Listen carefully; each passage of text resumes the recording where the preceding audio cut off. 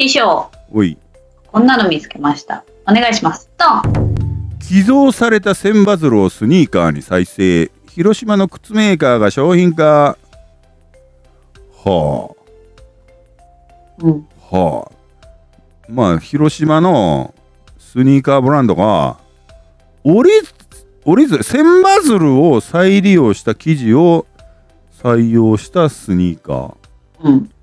1万8700円。ぶっちゃけ高くねえか？ちょっと高いかなと。ぶっちゃけ高くねえか？んでさこれツッコミどころなんやけどおえ結局千バズルっていらんよねっていう話だ 俺が前から言うてるとりあのウクライナ問題のウクライナ千バズル問題のことでずっと訴えてるけど結局いらんよねっていう証明ちゃうんか。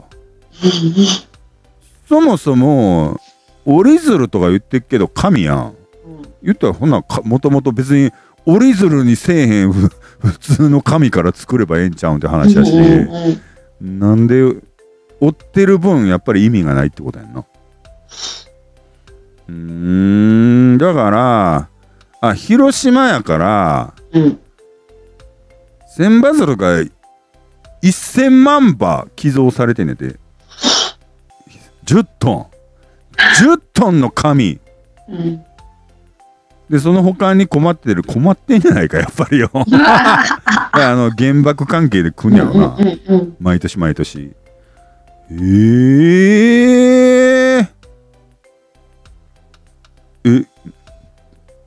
じゃあ別に千バズルなんていらんっていうことの証明やけどなこの靴は。えそうとしか思えんくない？これ。なんぼ考えてもそうやわこれ。うん。えじゃあ普通につなんか割高な気もするっしょ。うん。このほこのメーカーのちゃん他のなんて布で作ったような普通のスニーカーがいくらすんのか知らんけど、おそらく割高なんちゃうこれなんせ割高感はあるよな。何にせよこの値段やったらな。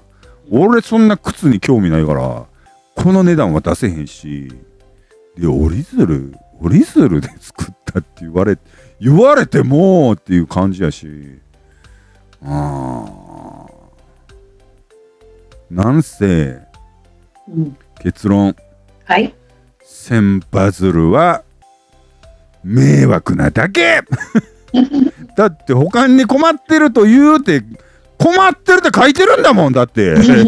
なあめっちゃ言うてるんだもん。迷惑なことが証明されました。以上です。はーい。